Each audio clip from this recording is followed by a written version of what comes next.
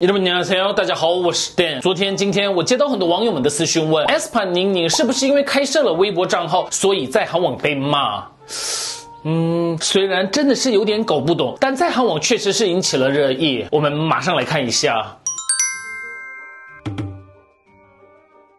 终于开始了，做微博设立工作室，中国活动活跃，疏忽韩国活动。我还以为做错了什么呢，什么事情都没发生，就有了一千多个留言引起热议，太惊人了。EXO 北 K 孙的系的云南也有微博啊，这留言们都疯掉了吗？因为是中国人，所以能理解开设微博账号。黑粉们真的是疯了，这跟韩国爱豆开设账号一样吗？你们是没脑子吗？没有微博账号就不说了，有了账号就很难不转发有关共产党或者是抗美援朝的贴文了。等真的发生什么事了后再黑吧。你们真的是吃饱饭没事做了，只是玩微博不是什么问题，但是。中国网友们只要一发生什么事情，就会出征没有发文的艺人，他能坚持不发吗？没有账号的话，还可以找个借口。现在不行了，为什么要开设账号呢？这次六月十五号，看他上传什么，就马上能知道了。虽然能预想到结果，真的希望不是。我对宁宁的好感渐渐上升。我本命最近也很忙，出演很多节目，真的很幸福。成员不多，如果真的出事的话，马上就会被冷冻的。我犯 FX 的时候就经历过了，怎么又犯上 SM 的歌手了呢？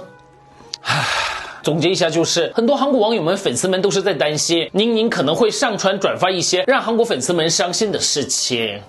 所以，对于 aespa 宁宁开设微博账号在韩网引起热议，华语圈的大家觉得怎么样呢？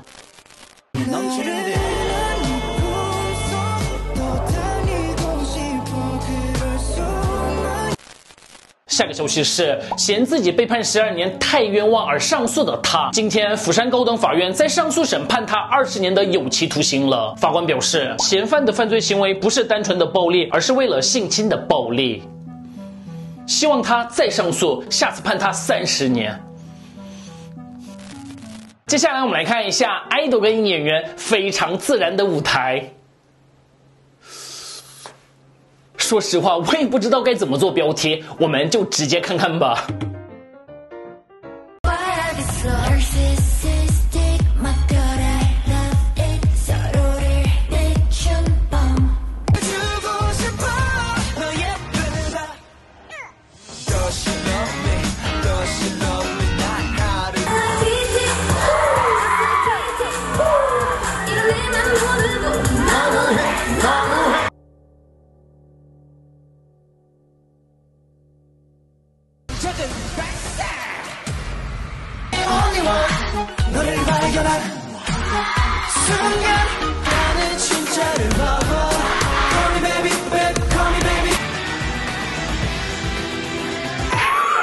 一边很真的是演技的事。